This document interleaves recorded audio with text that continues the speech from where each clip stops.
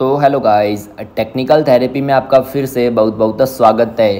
तो गाइस, आज मैं आपको इस वीडियो में बताने वाला हूँ, अगर आप आईफोन यूज़ करते हैं और आईफोन में आपके यहाँ पर डिस्प्ले का आपको कलर चेंज करना है। यहाँ पर आपको देख सकते हो, यहाँ पर आपको व्हाइट कलर है जो देखने को मिलता है। इस तरह से आपको इतना नेचुरल कलर होता है, वो आपको देखने को मिलता है। आप डिस्प्ले का कलर चेंज भी कर सकते हो। Red black white yellow blue जो भी आपको रखना है, आप रख सकते हो। तो आप कैसे रखेंगे? आपको यहाँ पर अपने मोबाइल में सेटिंग्स को ओपन करना है तो हम यहाँ पर सेटिंग्स को ओपन कर देती है। सेटिंग्स ओपन करते हैं तो इस तरह का पेज मिलता है। यहाँ पर आपको नीचे की तरफ़ स्क्रॉल करना है। यहाँ पर आपको ऑप्शन मिलता है एक्सेसिबिलिटी ठीक है? आपको इस एक्सेसिबिलिटी वाले ऑप्शन पर क्लिक करना है। फिर यहाँ पर आपके सामने एक्सेसिबिलिटी की जो भी सेटिंग्स होती है voice over zoom motion spoken content audio description touch face ID switch control बहुत सारी सेटिंग्स होती है, सारी सेटिंग्स यहाँ पर आपको देखने को मिलती है।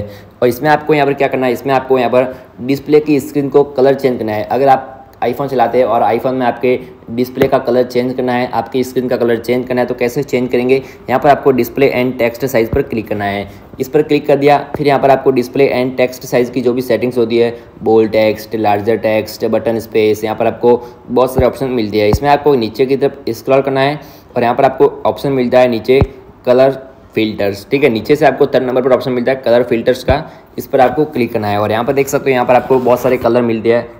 आपको यहाँ पर रेड, येलो, ब्लू, ऑरेंज, यहाँ पर आपको चॉकलेटी कलर, यहाँ पर आपको बहुत सारे ऑप्शन मिलते हैं, बहुत सारे कलर मिलते हैं। आप जिस कलर में आपको यहाँ पर अपनी स्क्रीन रखना चाहते हो, उस कलर में आप अपनी स्क्रीन रख सकते हो। Red, orange, yellow, green, blue, purple, यहाँ पर देख सकते हो बहुत सारे कलर आपको मिलते हैं।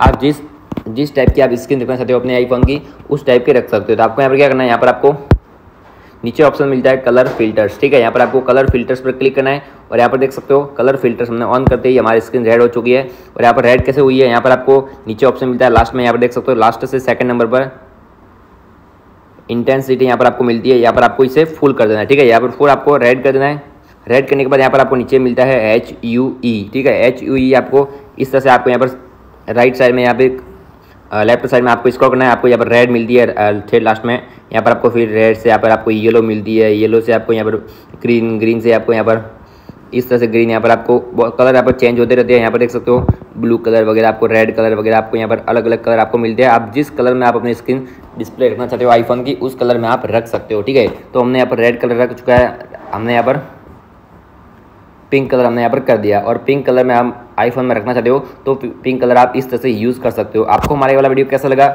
इस तरह से आप भी अपने आईफोन की स्क्रीन का कलर है जो चेंज कर सकते हो। आपको हमारे वाला वीडियो कैसा लगा? कमेंट में बताना। वीडियो अच्छा लगा तो वीडियो को भी लाइक कर देना।